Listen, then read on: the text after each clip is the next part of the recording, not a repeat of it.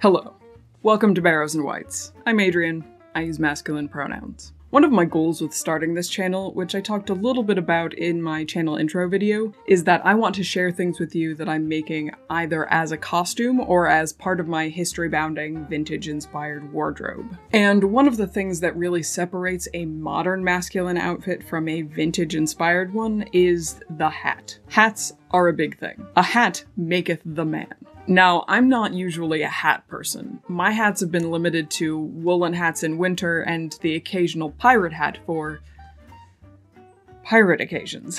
and I have two baseball caps, one from a group Halloween costume from work eight ish years ago, and one that my university sent me when I enrolled as a grad student this past winter. That's it. Excepting a couple of specific costume pieces or theme park souvenirs, those are my hats. But there are two things that are nudging me into maybe expanding my hat horizon a little bit. One, during the summer of 2020, I binge watched the later four seasons of Peaky Blinders. And I think we've all been at least a little inspired to dress like a 1920s gangster in our lives, right? It seems to me that anyone who has watched more than one season of this show has bought something to dress like Cillian Murphy's Tommy Shelby. And two, I started following Dandy Wellington on YouTube and Instagram. Took a wardrobe styling class from him last year. If you are unfamiliar with Dandy Wellington, he is a band leader and entertainer who is well known for his colorful vintage jazz age style. Like, the guy gets featured for his style a lot. A lot. And he's very passionate about hats. He's got a hat for every occasion. I will never be as stylish as Mr. Wellington, and I doubt I'll ever be someone who has a hat for every occasion, but I have found myself on walks with the dog and working in the garden in the sun with no shade, and thought to myself, you know, I think I might need a hat for this. So I did a little bit of searching, and I found a tutorial and pattern combination for a Peaky Blinders newsboy cap by Tony Allen Bernier. His Etsy store and his YouTube tutorial will be linked below. I also happen to have about three and a half pairs of jeans worth of scrap denim, which would make the perfect test hat in this style. I do have some nice wool that I got in an eBay D-stash that I think would make a really nice newsboy cap in the future, but I want to make sure that I'll actually wear this thing before I make a super nice one. And it's good to get some practice in with sewing something like this. I don't think I've ever sewn a hat before. If I have, I can't remember. I don't have much to say about the process of making this hat. You can watch the full tutorial for free on YouTube for step-by-step instructions.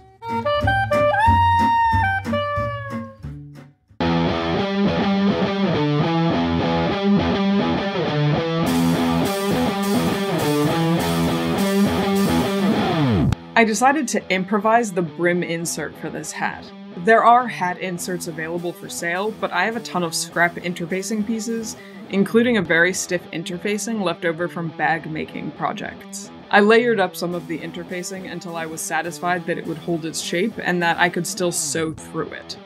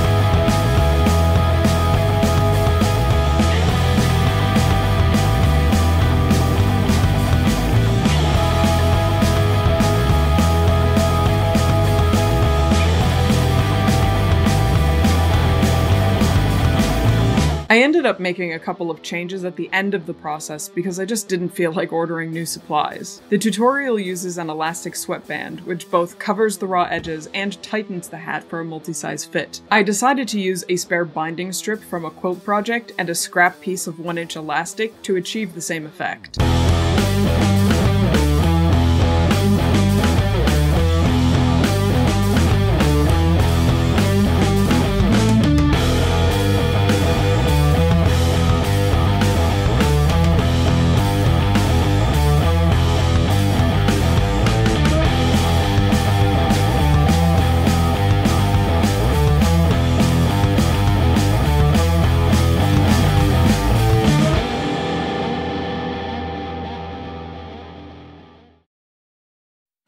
That's it. It's a fairly straightforward project with some fiddly sewing to get the brim to work right.